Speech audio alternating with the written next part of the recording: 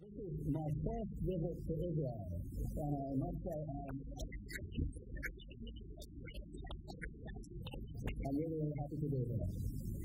Uh, there are people here that I have known for years online and that I have met for the first time, for example. You know, this is really, really great for me. So today, what I have been asked to do is to give just an informal presentation without any, you know, PowerPoint or anything like that, and then to have a very interactive time so that everybody can ask questions and we can talk about whatever you want to talk about.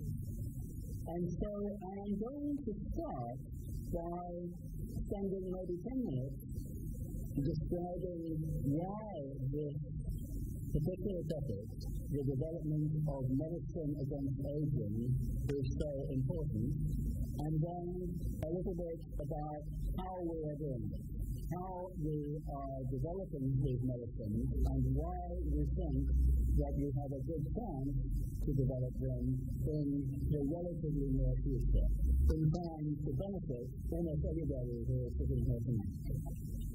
So, first of all, I'm going to talk about the reason why this is such an important thing. I am a, a well-educated guy. I have the choice to work on anything I want. And until I was about 30 years old, I was not a biologist at all. I worked in artificial intelligence research. The reason I did that was because I thought that it was a really bad thing. It was really bad that people have to spend their time doing boring things like, you know, mining and, you know, serving hamburgers and on. And I wanted to have machines that could do all of those things so that we could spend our time doing what we're doing right now. You know, enjoying each other's company, enriching each other's lives. That's really what we are built to do and what our destiny is. And I want us to be able to do that. But then, when I was about 28, 29 or so, I began, began to realize that there was an even more important problem. That the main reason why we cannot enrich each other's lives is because we get sick when we get old. And then we die. And we die. And that seems like a rather bad thing. And I realized that hardly anybody agreed with me. I discovered that an incredible number of people were perfectly happy with the fact that we get sick when we get old. But I'm not. I'm not happy with the result. So I decided that I would become a biologist and that I would work on this. And I have been very privileged, very lucky, that I have been able to become an important figure in this field. I have been able to make a big difference. And I'm going to carry on making a big difference until we're done, until we have got this thing fixed. But I bet that there are at least some people in this room who do not really understand why this is such an important thing to do. And I want to explain a little bit about why that is true. The main thing that I want to express is really why, what aging is. Why aging needs to be considered in the same way that we consider diseases. So I'm going to ask you all a few questions. And they're going to be very easy questions. Okay? Here's the first question. Please raise your hand if you want to get Alzheimer's disease. Come on, come on, come on. Anyone, anyone? If there is some, if you don't want to get Alzheimer's disease, but there is some age at which you think you will want to get Alzheimer's disease. You want it now, but maybe if, if you want to get Alzheimer's disease at age 90. Anyone want to get Alzheimer's disease at age 90? No? That would be Okay. How about cancer? Anyone want to get cancer at age 90? Yeah. Good. Okay, so obviously I could ask this question for a bunch of other reasons. Now the thing is, hardly anybody does get cancer at age 30. Basically, hardly, almost nobody gets Alzheimer's disease at age 30. These diseases are related to how long ago you were born. Now, here's the next question. hands up anyone who is ageist. You know what ageist is? Hand up anyone who thinks that people who were born long ago have less human rights, fewer human rights than people who were born recently. Good. Okay. Old people are people too. That's really important. Okay. So, at the moment, we have a problem with medicine. Medicine doesn't really work very well. And in particular, it is people. It hardly works at all for people who were born a long time ago. We have almost no ability to keep people who, are, who were born a long time ago healthy for longer than they would naturally be healthy. How about anyone who is in favor of medical research? Yes, yeah, yes, okay. I just wanted to ask the question whether it would their hand, just in case nobody was understanding a word that I said.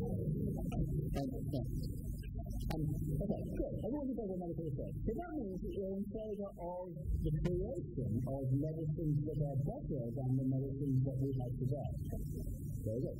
Now, I believe that at the moment, at least it is arguable, I'm I think it's true, but at least it's arguable that medical care should be given to young people more than to old people.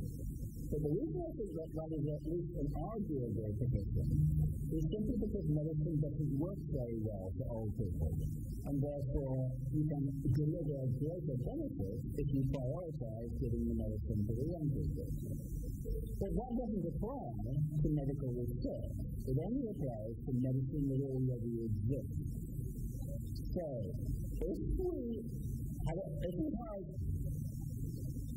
a position today where medicine works better for young people than for old people, but if we also have a position that says that old people are just as important as young people, then logically you must feel that it's particularly important to do medical research to develop medicine for old people.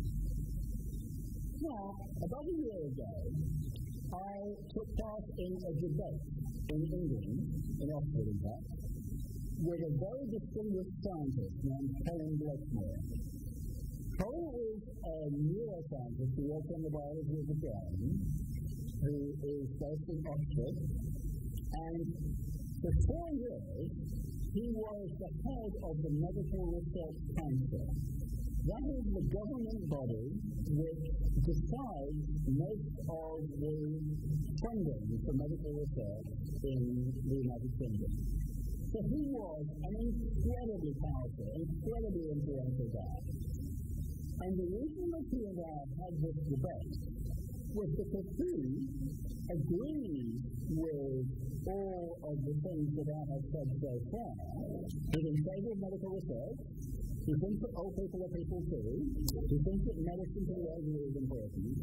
But he's not in favor of successful medicine to the elderly.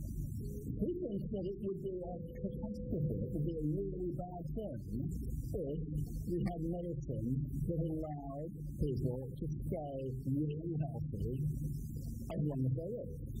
And the reason he thinks it would be bad because if that happened, if people had that medicine, they would live a really long time. Of course, we don't really know whether they would live a really long time. You know, the world might be hit by an asteroid in 10 years from now. Or people could just get really bad at crossing the street and they could get hit by trucks a lot. Things like that. So, is said that probably people will live a long time. Now, that makes no sense, right? Is completely ignoring the thing that he works at. Is putting to one side the fact that aging is bad for you, that we get all these diseases when we're old, and that these diseases are untreatable. He is saying we should let that be. And this guy was in charge of medical research in a big country, the United Kingdom. The really bad news, someone said cell phone. Yeah. Anyone else who has a cell phone, I you, I have a laser pointer. Um, Yeah, so, so, I mean, look at this number one. Most really influential people, even most really influential biologists, they think that way. They want you to die. In particular, they don't even care if you get sick and you cost a great deal of money for a long time before you die. They would prefer to leave things as they are because they understand how things are. Now, most of you here, I can see, are quite young. And youngsters have an extraordinarily important role in society today. Youngsters are the people who provide the future. They provide vision. They are the people who can change how society works. So, in a real sense, it's up to you to change all of this. You have got to make the world different if you don't want to get Alzheimer's disease when you're 90. Okay, that's all I'm going to say about why this is important for the moment. Now I'm going to say a little bit about how we're going about it. And the first thing I want to make sure you understand is that the therapies that we are going to develop to combat, to counteract the diseases and disabilities of old age will be preventative. In other words, you will have these therapies before you are sick. But at the same time, they will be able to be applied when you are close to being sick. You will not have to take these therapies all your life, starting when you are. We will be able to treat you when you are already in middle age, let's say 60 or even 70 or older. And we will be able to stop you from getting the diseases of old age. It's even better than that. When you are 60 or 70, you are, maybe you are not yet diagnosed with any particular disease, but still enough, you can't keep up with your granddaughter on the dance floor anymore. That's the problem. Probably can't have as much sex as you used to be able to have, and that's a big problem. Okay? Now, you know, what's, what's going on? We'd like to fix that. And that's what's going to happen. These therapies are going to be actual rejuvenation therapies. When you have this therapies, you will not just stay at the same level of health, the same biological age that you were when the therapies began. These therapies will genuinely fix you up so that you will be biologically young again, like a 25-year-old, for example. That's what these therapies are going to do. And that's why they're so important. That's the big reason why they're so important. Everybody in this room should be able to benefit from these therapies. Why can I say that? I can say that because I think we have a good chance, at least a 50% chance, of developing new therapies before most people in this room are 60 years old. Okay? That's the point. Now, why do I say that? Why am I confident that we can do that? Ultimately, as with any technology, the only way that one can have confidence in the time frame for developing it is if one can describe in quite a lot of detail what one needs to do. And that's what we have. The grand plan, so to speak, the project, the, the research program that we are engaged in, SENS Research Foundation, the charity that's been here in Mayo, the grand plan consists of seven different components, seven um, sub-plans, so to speak. And each of those plans consists of the development of a particular type of therapy. For each of those therapies, there is already an enormous amount of established work. Work that's been done to show that we can do this particular part, that particular part. We can, you know, we can do the proof of concept. And so what remains to be done is relatively little. We need to refine these things, make them work a little bit better, make them put them together so that they do more than the individual components do, that sort of thing. It's like any other technology. The parts need to be developed first, and then they need to be put together. And that's what we're doing. Now, it's not easy. There are lots of parts to put together ultimately what this is all about is preventative maintenance for the human body. And if we think about it that way, we can compare it to preventative maintenance for a man-made machine, like a car or an airplane. So then we can see that it should be possible But we can also see that it's really difficult because the human body is so much more complicated than any human, any, any man-made machine. Okay, so it's more, it's more difficult. So, as I say, we have a lot of detail in how to do this. Some parts of what we need to do are already so well developed that they are in clinical trials. Please raise your hand if you have, if you know what stem cell therapy is. Good, yeah. A lot of the most important stem cell therapy research that's been done in the world was actually done in Israel. So Israel is an important country in that area. And in fact, I think it's likely that quite a lot of the other work that needs to be done in the future will also be done here, because some of the most leading researchers in some relevant areas are based here. But most of these areas that need to be developed are much less far along in the research path than stem cell therapy is. They are certainly in clinical trials, and some of them are not even being tested in the laboratory in mice yet. They're only being tested in cells growing in a test tube or in a dish. You know, there's a long way to go. So, the faster we work, the sooner we will succeed. The harder we try, the sooner we will succeed. So that's why SENS Research Foundation exists. That's why I have dedicated my life to this crusade. It's because not only do I think it is an important crusade, the world's most important crusade, I also think that it is a feasible goal, that we do actually have a good chance of developing these technologies in the next couple of decades. That's all I really understand. It's the generative medicine creation, rejuvenating the body. Of course, I encourage all of you to find out more details. Today, down here, I'm not even giving a PowerPoint presentation, so I cannot really tell you any of the science But, of course, I've given many, many talks that are on YouTube or online elsewhere. You can easily find them. I wrote a book a few years ago called Ending Aging, which is very detailed in describing all of this. And actually, it is being translated into Hebrew at the moment, for those of you who prefer to read in Hebrew. Um, furthermore, of course, my foundation has a website, SENS.org, S-E-N-S.org, and of course there's lots of detail there as well. But for now, all I can really do is say thank you for being here, and now I will be happy to answer any questions that you have and to have any discussions that you may have.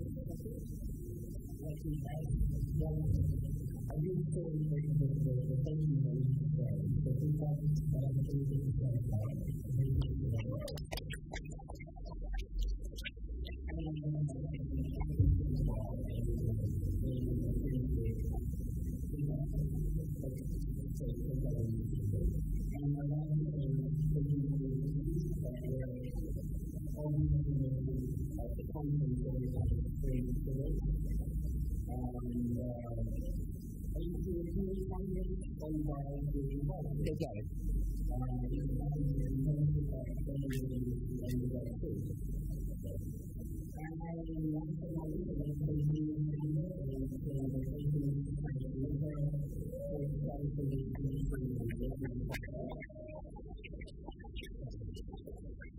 Yep, stand up. Yep, go, go for it. Um,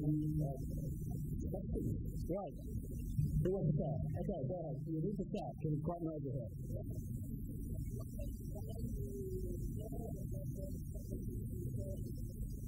Okay, so the question was, yeah, yeah, yeah, yeah. Obviously, I'm going to have to repeat the question. So, the question was, what sort of diet do I have and what sort of supplements do I take? Well, I am one of those really lucky people. I can and drink exactly what I like and nothing happens.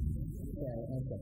so I am not recommending that everybody should and drink what they like because most people, you know, they will get overweight and so on and that.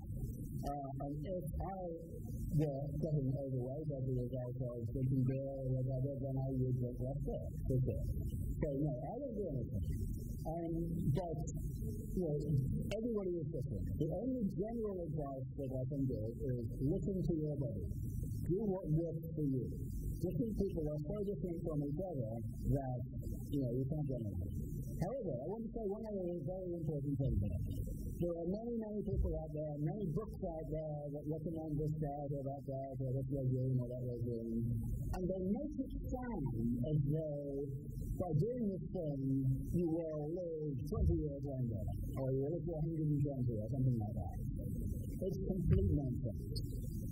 In most, almost everybody, unless you're really unlucky and you're going to die at the age of 60 because you've got, you know, early onset diabetes or something, if you're a normal person who's going to get perfectly happily to 80 anyway, then nothing that we have today will be able to add a significant amount to how long you will stay healthy and therefore how long you will live. A lot of people get so excited about things that they can already do, that they are distracted from realizing how important it is to develop medicine that we do not yet have, the whole on. So I wanted to mention that. Oh, what? Question was, and I've heard this question once or twice before in the past, the question was, what about overpopulation? If we were to, um, you know, defeat aging completely, wouldn't we have too many people? Now, I've got two answers to that. Well, I've got several answers actually, but um, uh, and, and, and many of them are unthinkable. Uh, but uh, my main answer is this. Number one, it's probably not going to happen. The amount of time that it takes for population to increase if we eliminate aging is, a, is really long. Because people are only going to get older at one year per year, right? So we're not going to have only 500 year old people for another 900 years, whatever happens. Um, and, and if you take into account, you've got to think of all the other things that are happening at the same time. For example, you know, what's wrong with having 7 billion people on the planet? There's an easy answer to that. The problem is that we use a lot of fossil fuels and we're changing the environment as a result. Now, the reason we're using a lot of fossil fuels is because we don't have an alternative. We're not very good at, you know, we haven't yet developed nuclear fusion. We haven't yet tiled the Sahara Desert with solar panels, things like that. But there's absolutely no reason why we shouldn't do those things. And it would be very, very stupid to presume that we will not do those things in the future. Anyway, we're talking about 50 years in the future, 100 years, let alone 1,000 years. So the carrying capacity of the planet may very well increase fast enough so it's okay to carry on having children even if we're not dying so much as we go out. That's the first answer. The second answer is probably a little bit more aggressive. The second answer is, hello, did you raise your hand when I said who wants to get Alzheimer's disease? I didn't think so. Did you raise your hand when I said who want to get Alzheimer's disease the age of 90? I didn't think so. Well, so it's up to you to, to say uh, whether you are prepared to take the risk of having fewer children than you might like to have in order not to get Alzheimer's. And that applies to everybody here. Maybe there will be a problem. Maybe you will have to make hard choices between a high death rate or a low death rate.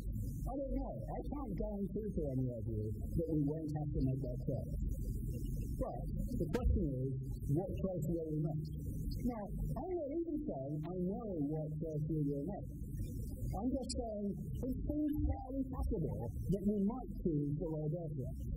And therefore, our duty today, our moral obligation today, is to give humanity of the future that choice to develop these therapies so that in the future people can decide whether to use the therapy.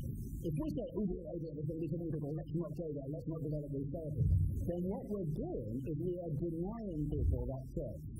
Are saying, we think you're going to have a problem, we're going to solve it by not giving you the choice. We're going to make you die rather than make you choose between dying and having fewer kids. It's not. It's just not morally acceptable. Simple as.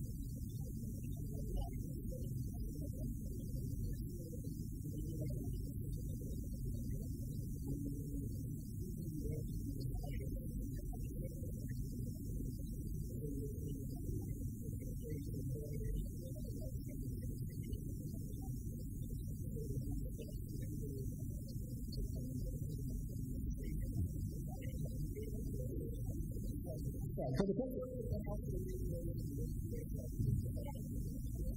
so the question is about the structure of the working life.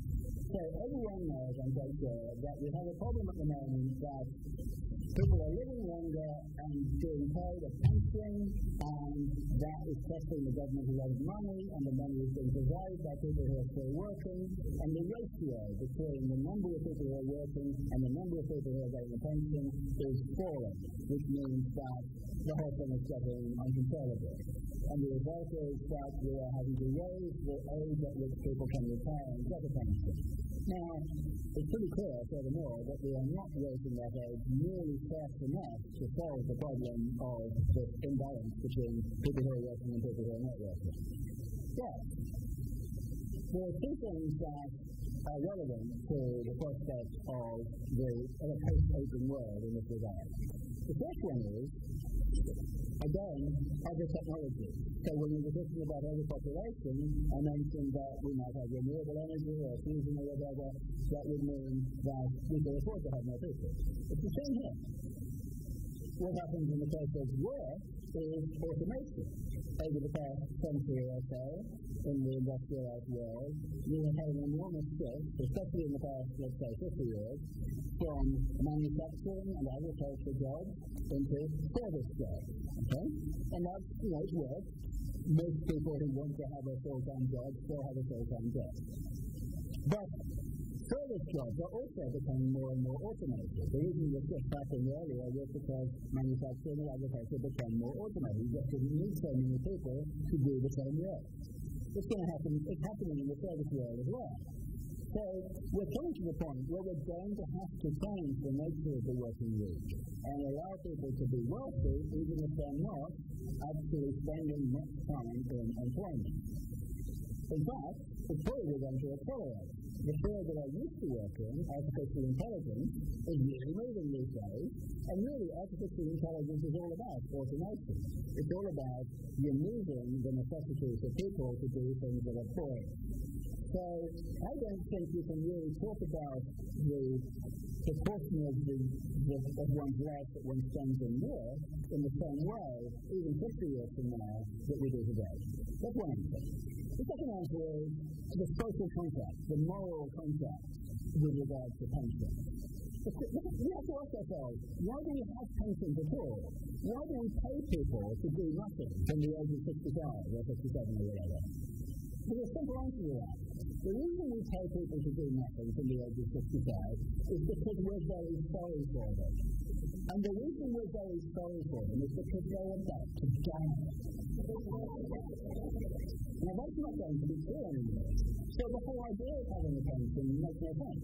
Even if we didn't have this increase in automation, it would make more sense to have some kind of periodic retirement where, you know, you have, let's say, 10 years you take off, and then you come back and do a different career for the next 40 years. Okay. Okay,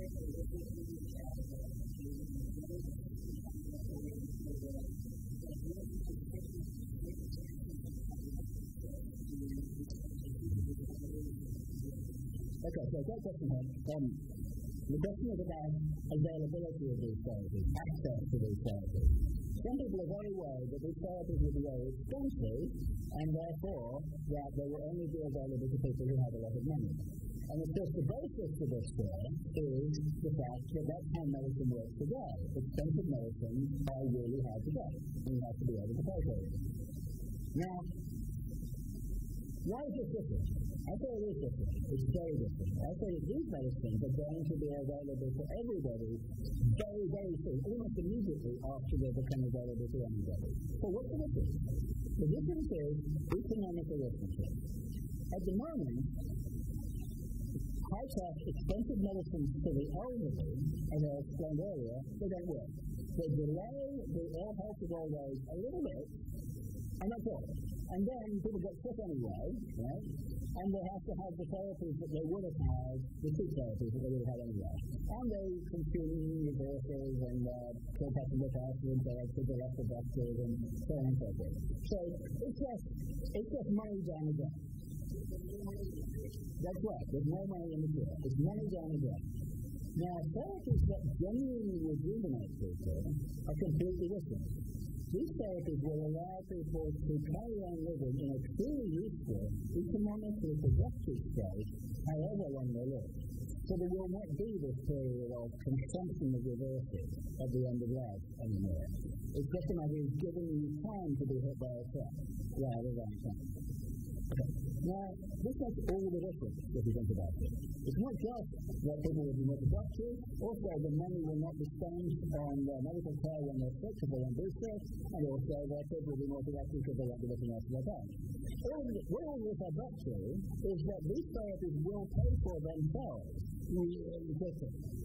And if you think about that from the point of view of any government, then what it means is that it would be economically suicidal not to make these therapies available, irrespective of the individual's ability to pay, to anybody who is old enough to need them.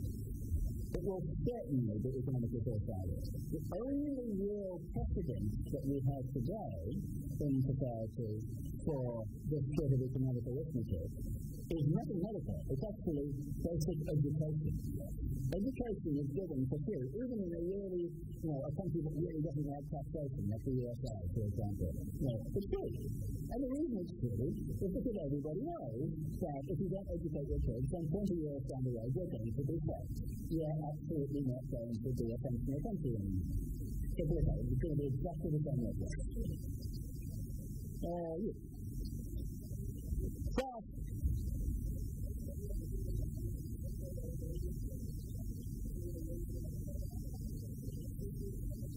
Okay. So the question is, aren't, aren't a lot of people dying of natural causes? You know, without any of these particular diseases like Alzheimer's or cancer and on. And that's absolutely true, yes. Uh, a, a bunch of people do die of particular reason. It turns out, at least in most countries, that doctors are no longer allowed to write natural causes or old age as the cause of death on the death certificate. They have to come up with something like, you know, uh, cancer or, or, or diabetes.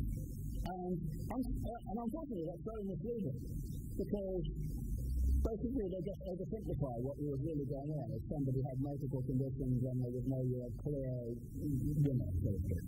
Um, but here's the thing. All of these declines in health, whether we give them particular names like cancer or not, they're still bad for you, and they're still caused by the same things, the same changes throughout life. Ultimately, there are differences in the molecular and cellular structure of a 40-year-old relative to a 25-year-old. And those differences are what means that the 40-year-old has less long to live. Right? Now, all those differences cause the various diseases and disabilities of old age. So if we go in and we repair those molecular and cellular damages, those things that happen before we have symptoms, then we will be preventing the disease of old age, but we will also, at the same time, as a bonus for the free lunch, we will be postponing the other non-disease types of old ill health. We get it all in one package. Yep.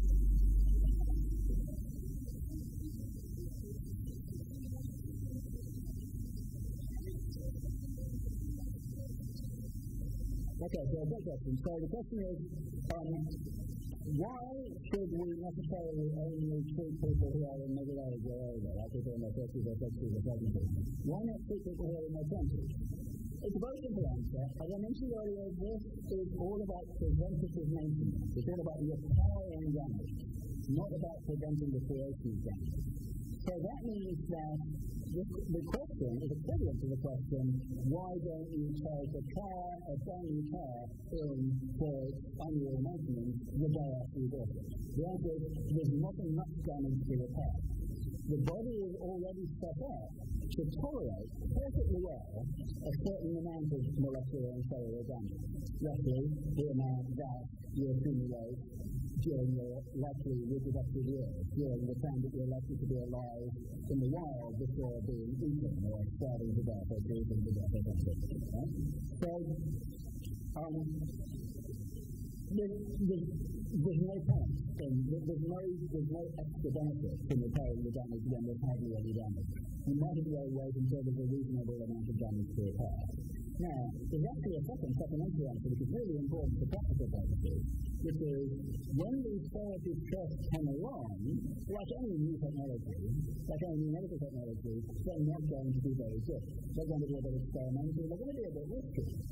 So if you've got the option, supposing you're 25 at the time these first generation therapies come along, supposing you happen to be able to get them, you have to get enough money or a government is giving you would you? No. What you would want to do is wait 20 years or 30 years maybe, um, you can, nothing's going to happen as a result of waiting, and in that time the therapies are going to improve.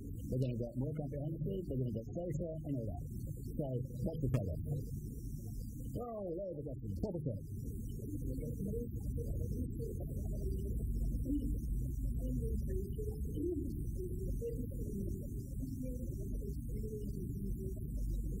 Okay,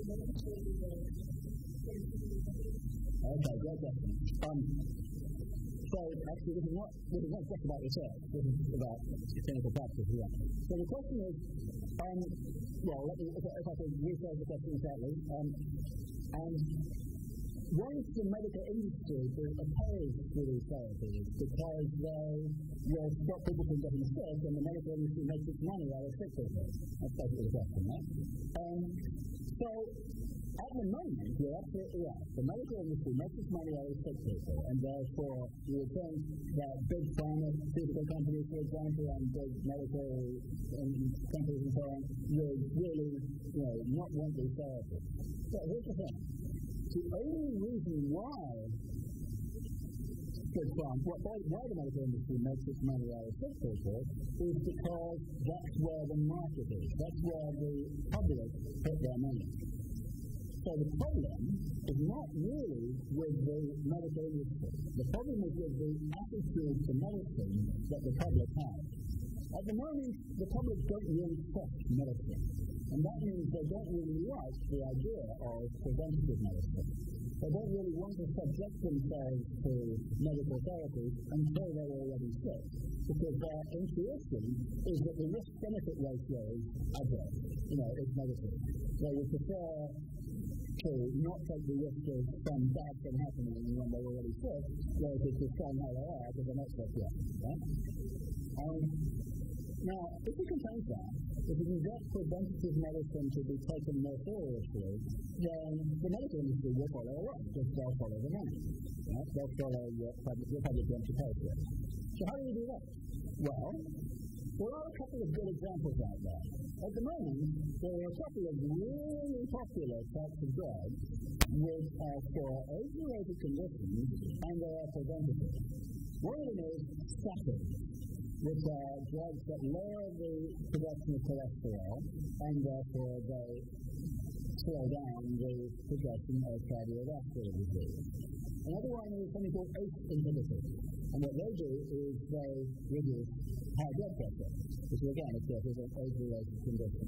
Now, it's still a little bit mysterious how this all happened. How those two families of drugs succeeded in winning the public acceptance and enthusiasm. But they did. And there are fine examples of what I just said. They got popular with the public, and lo and behold, they're fine popular with the medical industry as well. So you just need to copy those examples for other types of medicine, and you'll be done.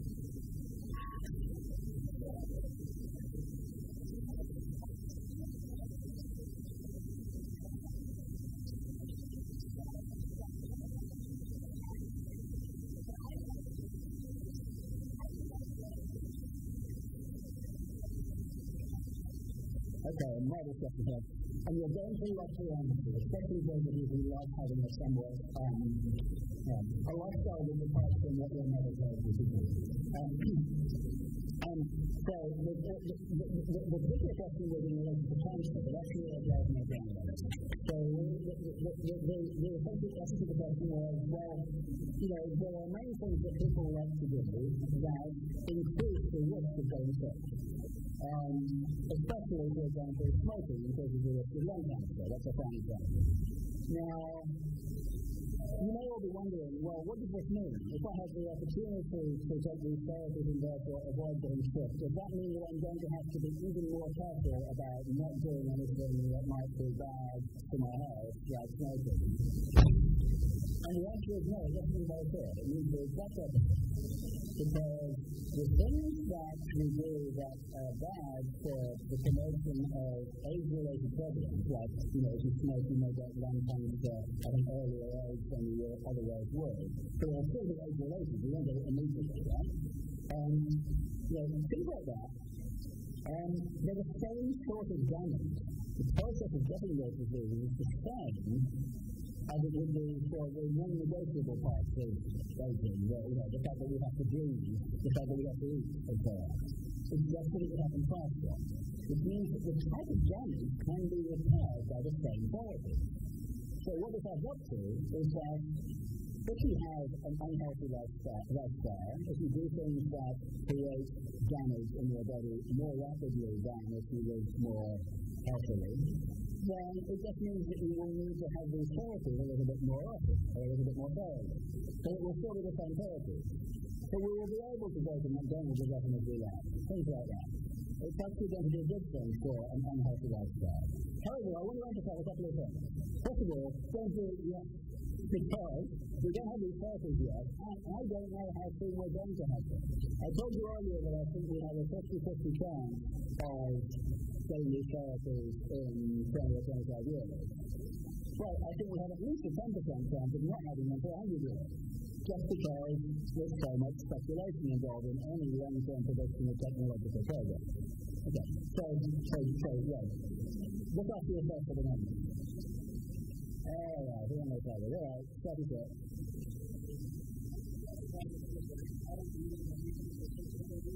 Sorry, say again? So the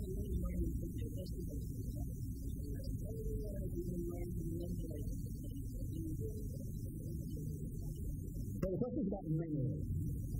Um, well, the, well, the question is ways that maybe if we live a lot longer than we currently do, then the brain won't work properly because it will be overloaded with being too full of, of experience. Now, we can answer this question fairly. Of course, we, really, we don't really know until we try. I, I, I don't want I don't want to pretend that we do. So, what we can say at the moment is we know a bit about how the brain encodes memories and how it retains them and which ones it retains. And there's no enormous amount that we don't know, but we can say that memory is distributed. It's like a hologram where, you know, a particular fact is not stored in one particular neuron or in one particular synaptic connection. It's stored in a whole network of connections, and the same network stores lots and lots and lots of different memories that sort of overlap at the time. Now, the second thing we know is that when we have first learned something, we remember it well, and when we recall a memory, that was something that happened a long time ago, that also reinforces the memory. So, we, so as if we have learned it relatively recently. Which means that the things that we forget are things that we learned a long time ago and that didn't really matter to us because they were not coming back. Now, by the time we are my age, or even near the age of most of you in this room, we are forgetting things a lot. Can get anyone who really thinks that they can remember the names of every single person who was in their class at school when they were 10 years old? There's one person I see every time, I, I know who does. Okay, couple more. Right? But not many of you, right? Can get anyone who can't remember the names of every person and it bothers them that they can't remember? Still not very many. Okay, that's, oh, that is interesting. Yeah. Um, okay, so, by and large, when you things that you don't really care about, it doesn't bother you. Now, if we look at the prospect of a very, very long lifespan, let's say for sake of argument, 10 times longer than the current normal lifespan, then it's just going to be stretched out. Even if the brain can only um, contain the same amount of information, it's going to be the information that we want to retain. The things we will have forgotten will be a higher proportion of the things that we ever knew, but stay the whole way. Plus also, there is this wonderful thing called the internet. Yeah, I can, I can, I can probably remember only about one quarter of many phone numbers that I called 20 years ago. And that's not because I got old, it's because I can't be bothered. I don't need to remember phone numbers anymore. So we have to take that into account as well. Right.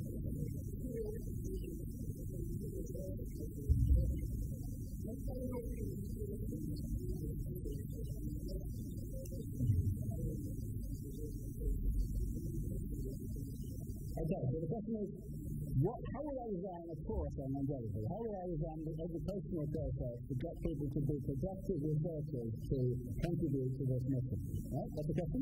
Yeah. Okay.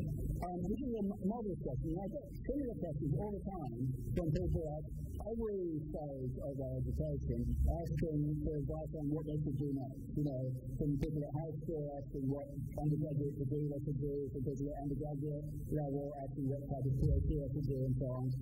And it's not easy to answer. At the undergraduate level, the answer that I usually give is be as general as you can within biology. Do not specialize in any particular part of biology, like, you know, biochemistry or genetics or whatever. Because aging is a really complicated thing. It affects the organism. It affects our biology at every level of organization, molecular, cellular, everything. So the best type of basic training at an undergraduate level is at the level of generalization. Generality. You want, to, you want to have a reasonable grasp of the whole of biology if you can. At the higher level, let's say PhD level, it's mainly about. It's about making sure that you learn how to do research and get good at it. And that's really hard. When you're getting going, working on problems that nobody else has ever solved, and you're doing it for the first time, which is what a PhD is all about, then you're going to have periods of time when nothing works. Sometimes there's a really long period of time, you know, six months when nothing works. And you water coming off and, and, and, and, you go and you go get and come out the other side and carry on being productive. The best way to do that is to go in at the beginning of the PhD with the right attitude to what to your project, with a real passion for making it work. If you're not really sure that was what you wanted to do in the first place, then the chances are that you will and down and you won't get to it. So that's what I would say. Go the hat.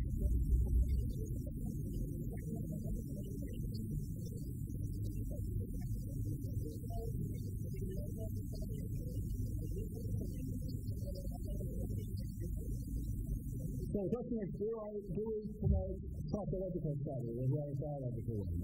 And the answer in a formal sense is no. We don't do psychological studies per se, but we, do, we are interested in um, understanding the psychology of attitude theory.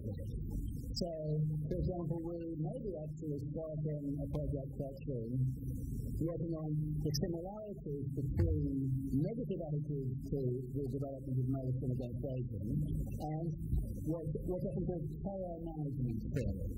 This is a theory of psychology that was developed maybe 20, 30 years ago now uh, to understand how um, um, how populations, especially in the industrialized world, react to the um, to terrorist threats and other um, areas, uh, other aspects of um, you know, really scary scenarios. And uh, a lot of people who have been thinking about the attitudes to to um, defeated aging, and in particular the negative attitudes, the really, really unbelievably irrational attitudes um, held by otherwise very intelligent people, you know, there has been some similarities with how people react in, in scenarios like that. So yes, that's something that we're very interested in. It's not a major part of our activity, it's, it's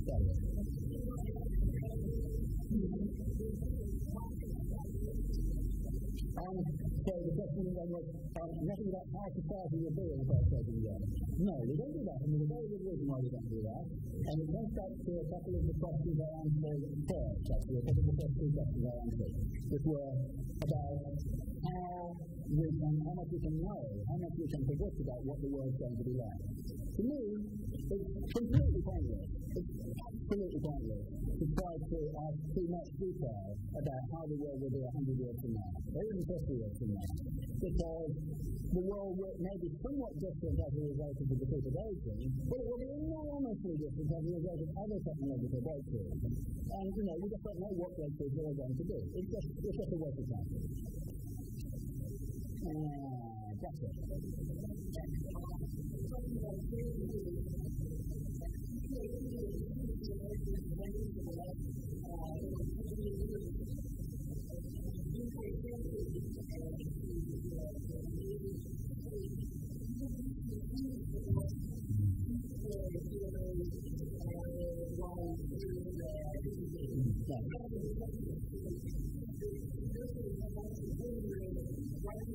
Well, I don't like having two questions at a time.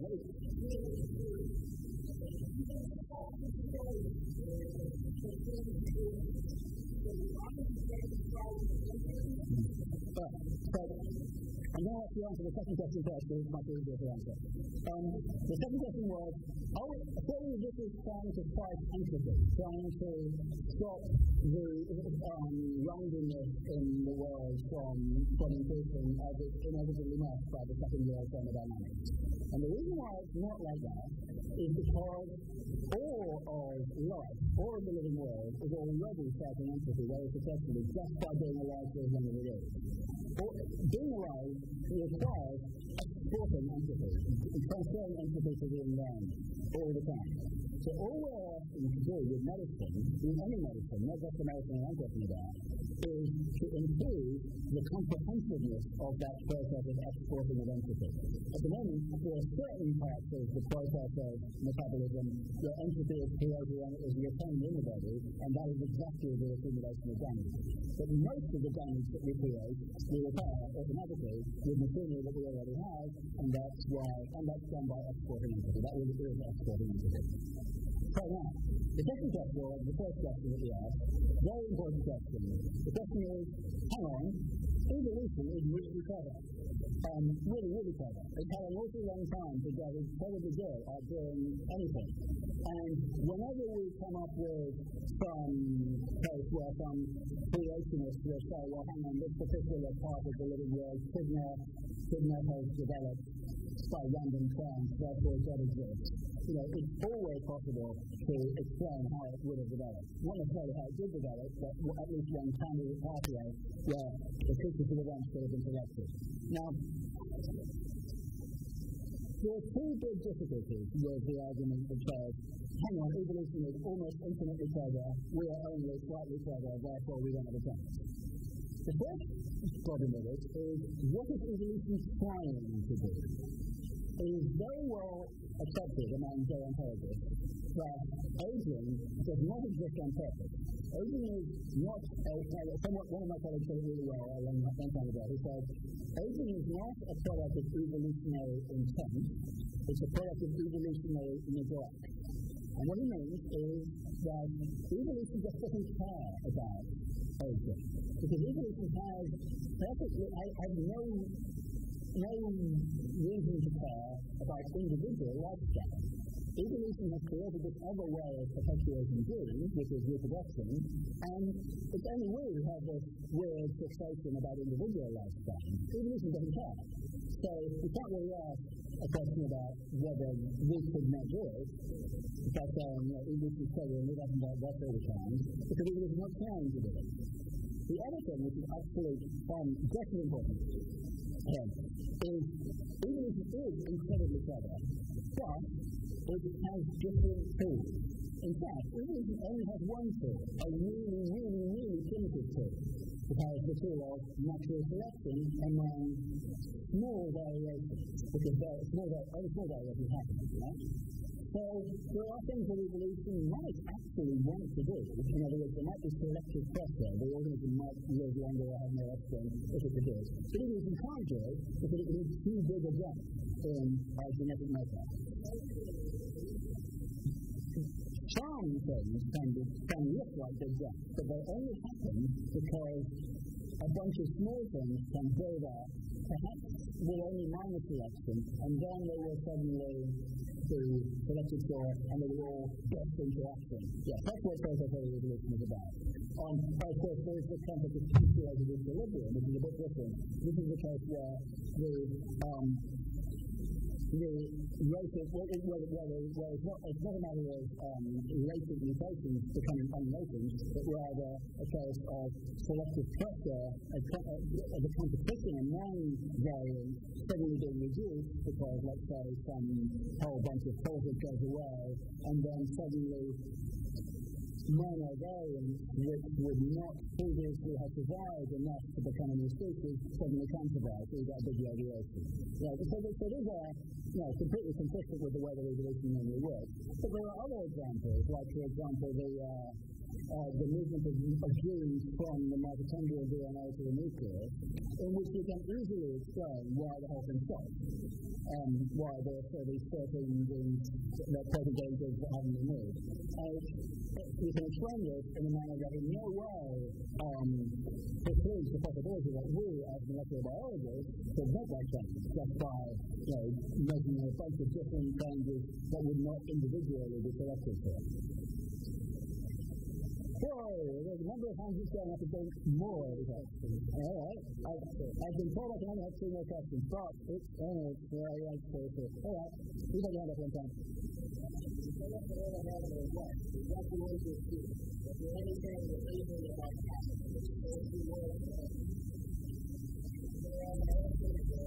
so the question is to think more about the nature of the work we're doing. How we're actually going to develop these technologies. And still, I, I, I, I, I, I very about that because it's difficult to really communicate it without slides. But essentially, we are about repairing damage. If we go through the seven types of damage that uh, have delineated over the past decade and the things we want to do, ultimately it comes down to things that we've already heard about, like stem cell therapy, replacing cells. In some cases, we need to remove cells because we have too many of them. So cancer is a fine example of that, and we have particular approaches to combating cancer that we think are going to be much more powerful than they exist now.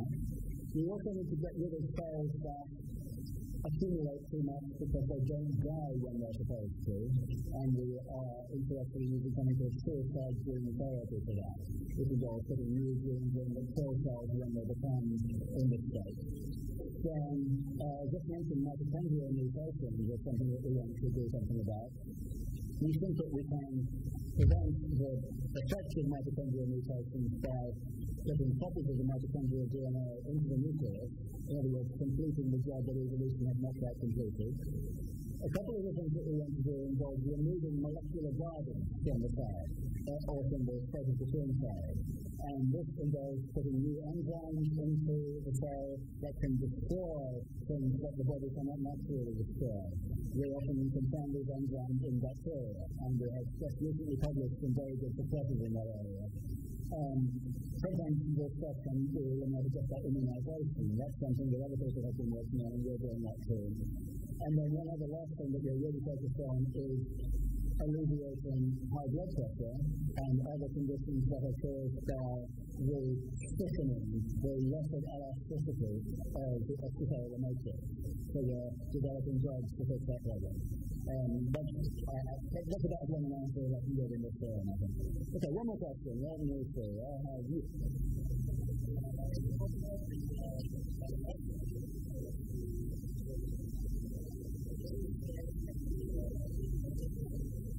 Okay, definitely. How about non-biological solutions to the problem of aging? And of course, there are people out there looking at things like uploading, uh, transferring our consciousness to different hardware, more robust hardware. Um, there are people looking at molecular manufacturing, nanotechnology, the creation of tiny, tiny machines that are more versatile, more powerful than um, biological machines, enzymes. Uh, there are also more macroscopic non-biological solutions to medical problems, things like glasses, for example, or indeed cochlear implants, you know, to cure deafness. All these things actually have their place. Some of them obviously are closer, some of them already exist, some of them are improving rapidly. Cochlear implants are a good example. People think that within five or ten years, cochlear implants are going to give better hearing than the normal hearing. Okay. Um, I think that molecular manufacturing is still a long way away. I think it's going to be quite a long time before we can develop machines that can significantly contribute to medical um, treatment. And that's why I'm working on the circular biological approach. But very well aware that I'm maybe wrong, so I'm very pleased that there are people out there working on, on molecular manufacturing for, for nanomedicine research. Similarly. I mean, you know, I personally rather enjoy being made out of meat, but um, I can say that were either to die and be, you know, irreversibly um, you know, decayed or to be in some way transferred, then sure, I, I'd take it. I am concerned that the process of transfer may be difficult to actually implement, very difficult to implement in a manner that really constitutes preservation of the individual. But of course, there's a lot of philosophical uncertainty about that. All right, so I'm supposed to stop now. Thank you very much, everybody.